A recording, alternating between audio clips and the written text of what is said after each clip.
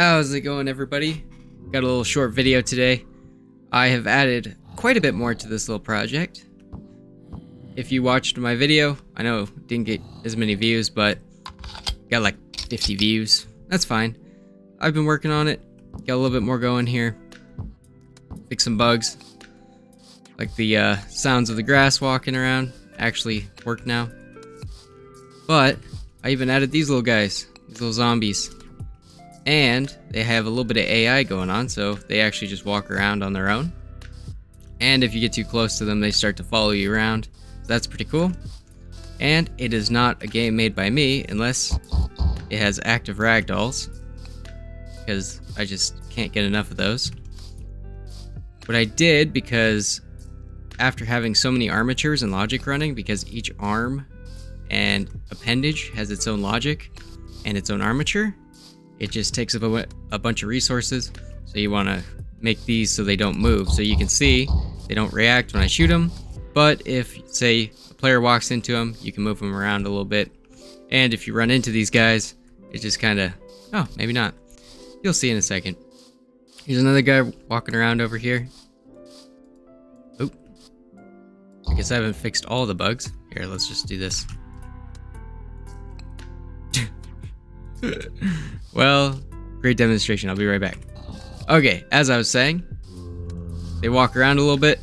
They follow you. Oh, I got two of them on me here. Looks like I got them stuck on the fence.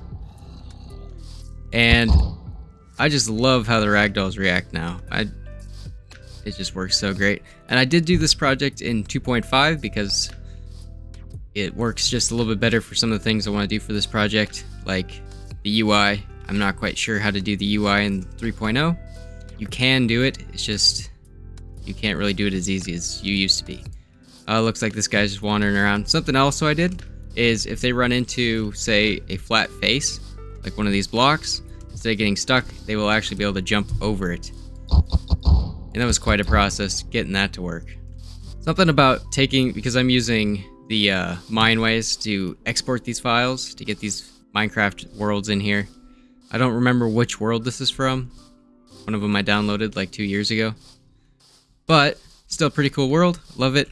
Added some lights. In fact, I even have it set to where there's a night time version, which looks pretty good. So if I go to my world, just click day, turn it to night. Takes a second, loads in, and we got this beautiful stuff going on here. I have my light sources on a different layer just to make, if I want to work on this, it makes it a little bit easier to work on, less laggy. So turn on the light, looks pretty awesome. Make sure we have our character in here. There we go. That layer on. Walk around again. And it runs pretty smoothly. I mean, I'm getting 60 frames a second, which is good. All my animations are running at 60 frames. A little run animation. I just love how their eyes glow even when it's dark out. Put a little emission texture on there material. Just falls right over. Uh, this has been a fun project, and I'm not quite sure. Whoa. not quite sure where I want this uh, project to go, but I think I'm gonna add a couple more worlds because every time I do, you have to for 2.5, you have to redo all the materials. It takes so long. I think it took me like two hours to get all the materials so you could actually not see through them. And if you all want to see how I do that, how I set up these Minecraft worlds in Blender, then I can do a tutorial, leave a comment. And if you really do love, or I don't know if I'd say love, but if you enjoy my content, uh, please give it a like. Helps me out, know what I can uh, make in the future, see what you guys all enjoy. So, I'm just going to end this video. This is what I've been working on for the past two weeks. Uh, thank you, and I'll see you in the next one. Hey, Carl. You see that subscribe button? You want to click it? Ugh, hey. I said, hey, hey, leave me alone, bro. Hey, you want to... Uh, uh, uh, dude, you just had to click the subscribe button.